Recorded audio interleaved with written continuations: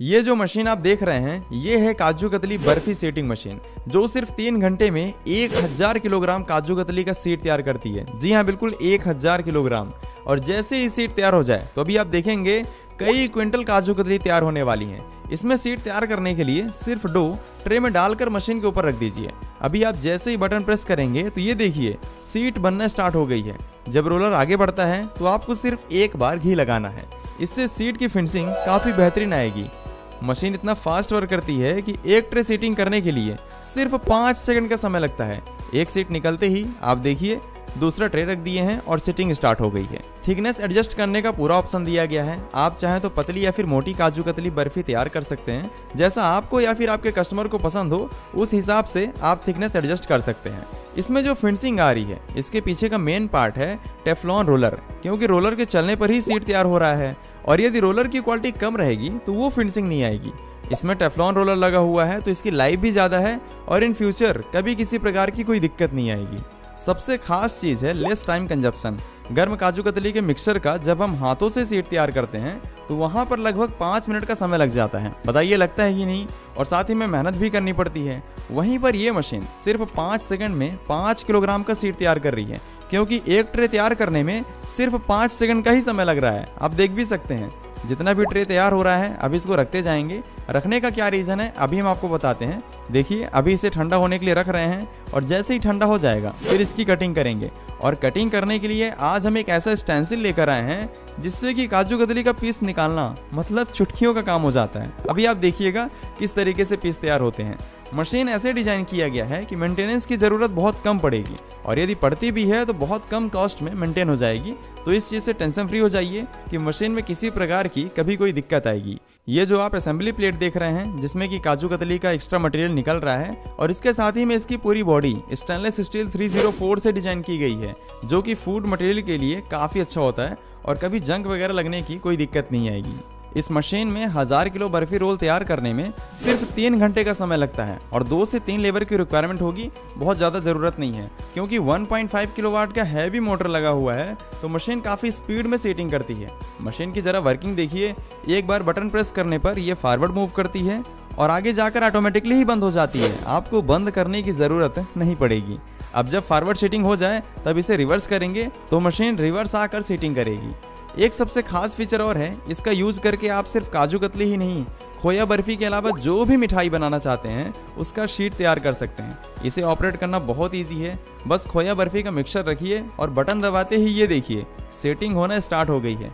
ज़रूरी नहीं है कि आपके पास एक्सपीरियंस हो, तभी आप मशीन चला सकते हैं। बिना किसी एक्सपीरियंस के भी आप मशीन ऑपरेट करके कई क्विंटल मिठाइयाँ तैयार कर सकते हैं। यदि आप अपने ट्रे के अकॉर्डिंग मशीन कस्टमाइज कराना चाहते हैं तो कंपनी में ये भी फैसिलिटी मिल जाती है। आप अपने रिक्वायरमेंट के अकॉर्डिंग भी मशीन कस्टमाइज करा सकते हैं।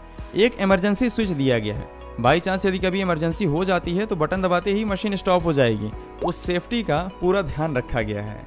इसके डायमेंशन की बात की जाए तो इसकी लंबाई 6 फीट विड्थ 3.5 फीट और हाइट ज़्यादा नहीं है 4.5 फीट है। वज़न लगभग ढाई क्विंटल है, लेकिन टेंशन न लीजिए इसके नीचे हैवी ड्यूटी लॉकेबल व्हील लगे हुए हैं तो आप कहीं भी आसानी से मूव कर सकते हैं।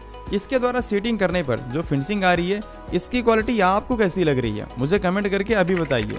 बड़े लेवल में प्रोडक्शन करने के लिए ये मशीन्स बहुत बेहतरीन काम करती हैं, क्योंकि फैक्ट्री में टाइम कम होता है और प्रोडक्शन ज़्यादा करना होता है। शायद आपके माइंड में ये बात होगी कि काजू कतली या बर्फ़ी की मांग सिर्फ़ त्योहारों में होती है लेकिन ऐसा बिल्कुल नहीं है।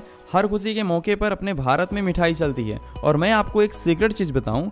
हमारे इंडिया की जितनी भी बड़ी बड़ी कंपनियाँ हैं, इंडिया में प्रोडक्शन करके बाहर देशों में एक्सपोर्ट करते हैं। जी हाँ बिल्कुल, उनके बाहर बहुत सारे स्टोर्स बने हुए हैं, क्योंकि बाहर देशों में अपनी मिठाई की मांग बहुत है। शायद आपको विश्वास ना हो रहा हो तो जाकर एक बार चेक कर लीजिए। नॉर्मली जब इसे फ्रीज में रखते हैं तो इसकी वैलिडिटी सात दिन की होती है।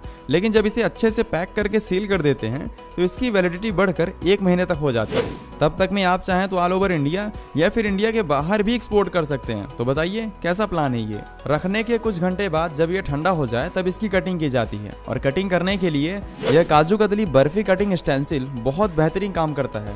बेहतरीन बोलने का रीज़न ये है कि भले ना ये सिर्फ़ एक प्लेट की तरह लग रहा है, लेकिन ये कटिंग कितना फास्ट कर देता है, अभी आप देख सकते हैं। ये स्टेंसिल लगा दिए हैं। अब आपको टेंशन नहीं है कि कोई काजू कतली बड़ी होगी कि छोटी होगी। इसको लगाने पर हर एक पीस का साइज़ एकदम बराबर रहेगा। अब आप आँख बंद करके भी कटिंग कर सकते हैं।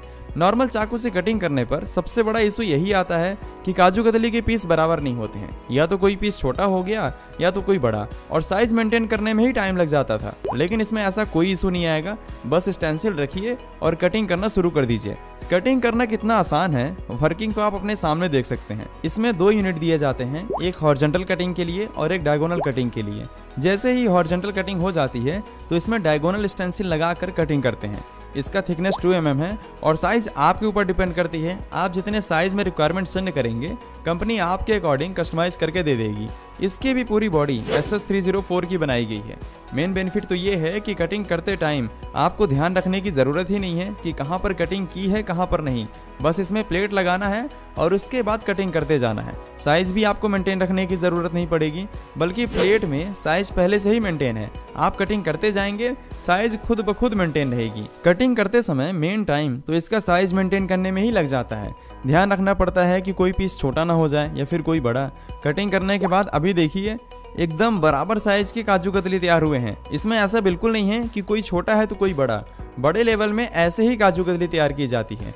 स्क्रीन में आपको नंबर दिख रहा है। इस पर आप कॉल करके बेकर स्प्राइट से अपना भी एक खुद का फैक्ट्री सेटअप करवा सकते हैं। तो शुरू